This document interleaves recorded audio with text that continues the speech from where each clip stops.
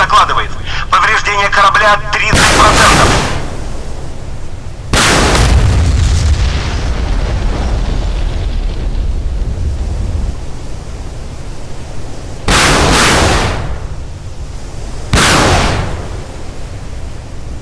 Командир дивизиона живучести докладывает.